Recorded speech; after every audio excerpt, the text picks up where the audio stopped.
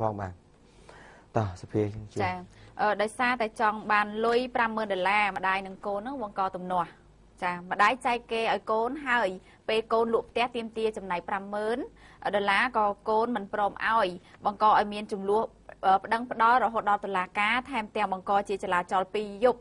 ជាប់គ្នាមកហើយផ្អើលទាំងសមត្ថកិច្ចនិងអ្នកសារព័ត៌មានចុះទៅដល់កន្លែងកាត់ហេតុនៅផ្ទះលេខ 31A ផ្លូវលេខ454ក្រុម32ភូមិ5សង្កាត់ទូទំពុកទី1ខណ្ឌចំការមន សូមបញ្ជាក់ថាស្ត្រីជាម្ដាយឈ្មោះគៀតសាមិនអាយុ76ឆ្នាំស្នាក់នៅផ្ទះកើតហេតុខាងលើបានឲ្យដឹងថាគាត់មិនគាត់មានកូនស្រី3នាក់ហើយបច្ចុប្បន្នគាត់ស្នាក់នៅជាមួយនឹងកូនស្រីទី2ឈ្មោះសារំផល្លាអាយុ43ឆ្នាំដែលជាផ្ទះ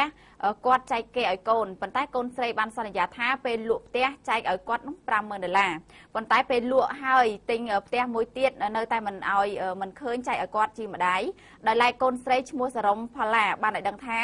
ផ្ទះដែលម្ដាយរបស់គាត់ចែកឲ្យនោះគាត់លក់បាន200,000រៀលហើយយកលុយទៅទិញផ្ទះឲ្យប្អូនស្រីពៅនោះគឺឈ្មោះថាសារ៉ុំវណ្ណាក្នុងតម្លៃ180,000ដុល្លារហើយផ្ទះនោះគាត់បានធ្វើប្លង់កម្មសិទ្ធិដាក់ឈ្មោះកូនស្រីរបស់គាត់ហើយគាត់មិនបានសន្យាថាឲ្យលុយចំនួន50,000ទៅម្ដាយដែលរស់នៅជាមួយគាត់ទេព្រោះម្ដាយបានប្រាប់ថាផ្ទះគាត់ចែកឲ្យហើយសូមរស់នៅជាមួយ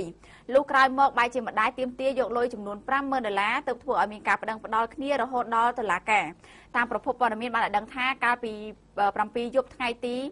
ចាតាំងពីយប់ថ្ងៃទី8ខែតុលាពេលដែលកូនស្រីទី2បាននាំក្រុមគ្រួសារទៅដើរលេងអស់ស្រាប់តែមានកើតចលាចលថាបាញ់ថ្នាំមូសក្នុងផ្ទះប៉ុនប៉ងធ្វើឃាតម្ដាយបណ្ដាលឲ្យផ្អើលចលាចលប្តឹងសមត្ថកិច្ចចុះទៅដល់ហើយស្ត្រីជាម្ដាយបានចាក់សោមិនឲ្យកូនស្រីកូនស្រីនឹងចូលផ្ទះទេ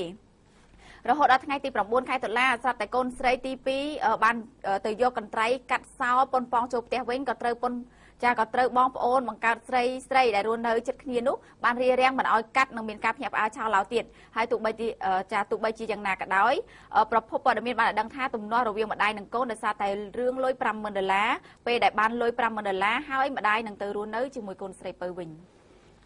រឿងម្ដាយកូនគាត់រឿងគេហ្នឹងចាស្រវឹងជោគជិះម៉ូតូអកហ្សឺរថយន្តចាប់ហ្វ្រាំងដួលស្លាប់ម្នាក់ឯង បរិម្នាក់ស្រវឹងស្រាជិះម៉ូតូវ៉ាម៉ូតូមួយគ្រឿងទៀតអកសើរថយន្តបើកច្រាស់ទៅគ្នា